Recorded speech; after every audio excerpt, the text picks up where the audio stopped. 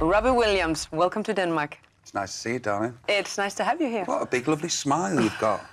oh, stop. That's way too early because I get nervous. No, they're amazing teeth as well. Stop. All of them in the right place, exactly where they should be. lovely, big, beautiful eyes. I don't big know what smile. to say. Robbie, Full of tattoos as well, I've noticed. Ah, you already noticed that. That's a bad thing for me, but uh, Uh, we'll okay, get back to that uh, later okay, on. okay. This is your new album. It is Take It is. And uh, yes, I've heard it. I like it. Thank you. Take the Crown, the title. What does that mean to yourself? Um, I don't really know. Perfect. Yeah, it could be quite a few things, actually. It could be take the crown from me. I've come to take the crown. I um, I know that I'm I'm 40 very soon, and you stop being a pop star at 40, and you start being Who an says old. that? I do. Okay. And uh, you start being an old man singing. So I've got 18 months left. I've given myself 18 months left. For this 18 months, I want to be the world's premier pop star. Uh, uh, underline that, double score, tick. Yes, I want to be the world's premier pop star.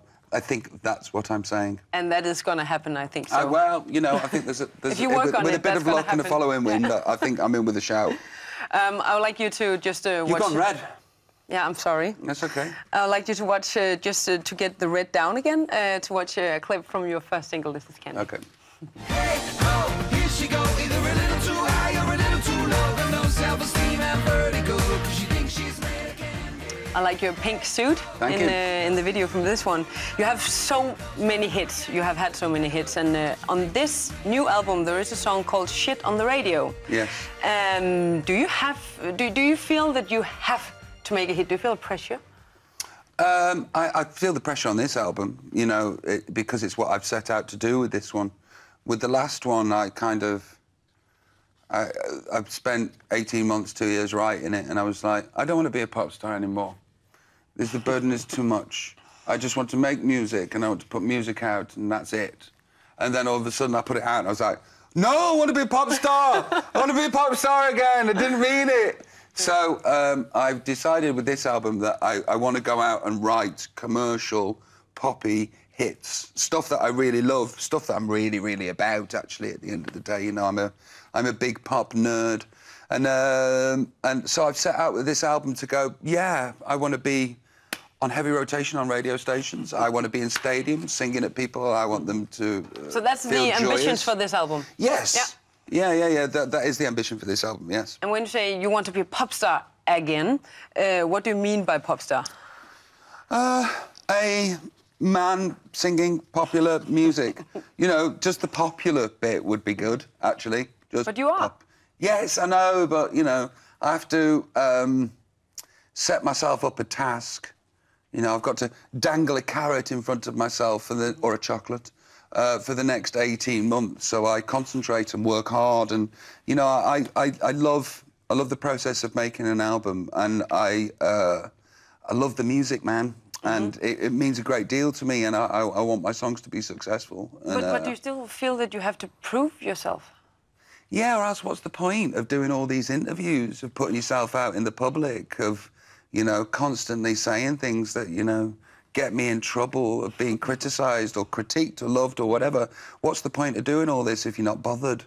But do you feel a pressure when, when you're doing all this marketing and interviews? Do don't you like it? Don't you like being here? uh, I do, I do. I'm liking being, I'm liking being here. Yes, I'm liking being here with you because Oh. you're nice.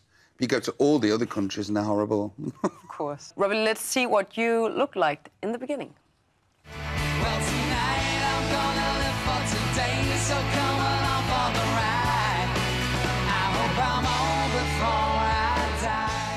What is, Robbie, the biggest um, difference between you on the screen and uh, the Robbie who's here in the studio right now? Um, what's the biggest difference? Uh, probably 60 million albums. I love that answer. Yeah, 60 million albums, massive tours. Um, I don't, I don't. You, there's, there's so much. You know, I'm married. I've got a kid. Uh, you know, I'm uh, been to rehab twice since then. Um, there's so much different between me and that boy. Um, it, it would be, impossible to start listing it. And uh, now you said it yourself. I did, but mm. uh, you have a child, a lovely daughter. Yeah. And you're married. Uh, but I read an interview, it was from 2005, and there you were telling that you had never been in love. So I guess now you're married. You have finally experienced that. How was that? oh yeah. I hope so. Yeah, I mean that was that was beautiful, and uh, you know, all that the films promised and all that the songs promised. But the but the biggest, the biggest, overwhelming, genuine, cosmic, spiritual love uh, happened when Teddy, my daughter, was born. You know, that was that was sort of otherworldly, other planet stuff. You know, um, so yeah, and and uh, and yeah, of course, I, I got married, and I love love my wife to bits. She's my favourite person on the planet, by by a wafer uh, to Teddy. But Yeah. Teddy's getting there. I, I love my teddy bear too.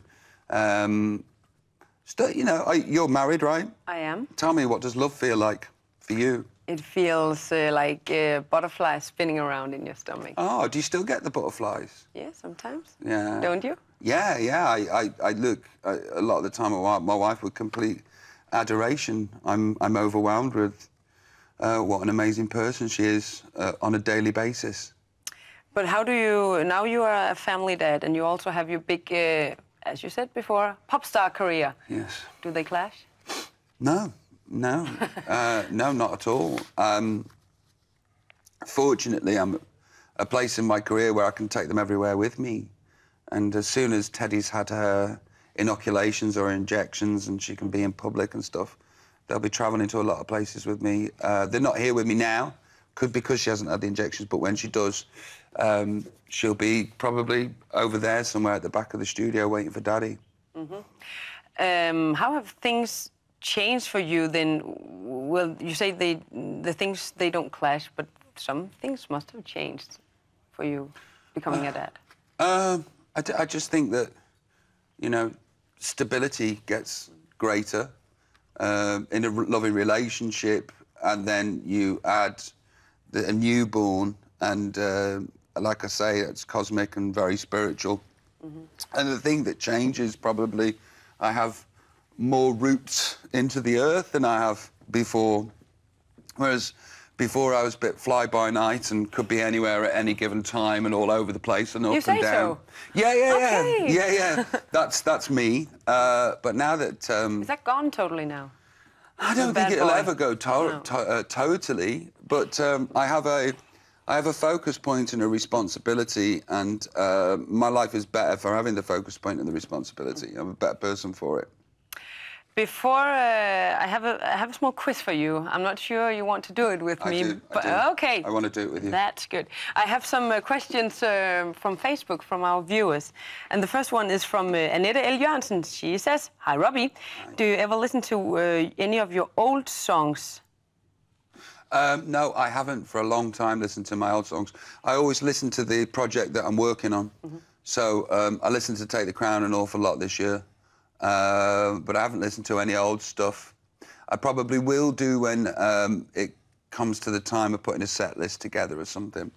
Uh, but no, I haven't listened to anything. Okay.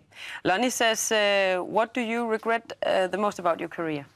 Uh, I, I, people always say, "Have you got any regrets?" And then the stock answer that everybody says is, "No, it's made me the person that I am today."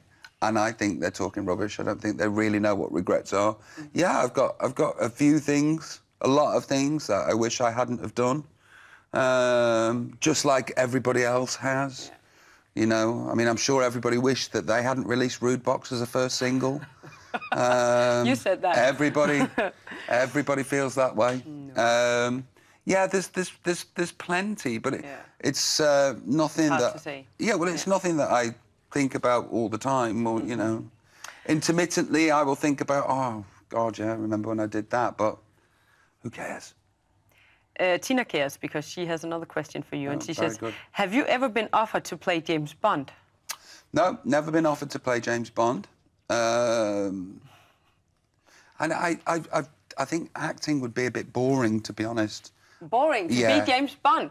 Yeah, Okay. yeah. I mean, be if if I could be James Bond without actually having to do the three months of getting up at stupid o'clock in the morning to, and then spending three hours in makeup, um, putting a scar on or whatever, Mm-hmm. and then spending half a day with them filming over my shoulder at some But that's what they do That's right what they now. do. It's boring. It's in, it's incredibly boring, and I think you you've got to be passionate to act to want to do that on a daily basis. I think it's madness. Plus, I have a very low tolerance for things that I think are stupid, and pretending for a living is a bit stupid. Do That, you act? that makes a pressure on me now because now uh, it's time for me to uh, tell you about my quiz. okay. Oh my God. Okay. Why are um, you so nervous about this quiz? Because you just told me that your tolerance is very low of thing, things that you feel stupid about. Well, and then so other stuff I can glory in in the stupidness of things. Things that are supposed to be stupid, I like. Things that people take seriously that are stupid, I, I kind of struggle with. I know um, you are now a family dad. Bad Bon Robbie has gone, but you still have your tattoos. Yes. Yes. Show me yours, now show you mine. Which ones? Yeah, you decide. You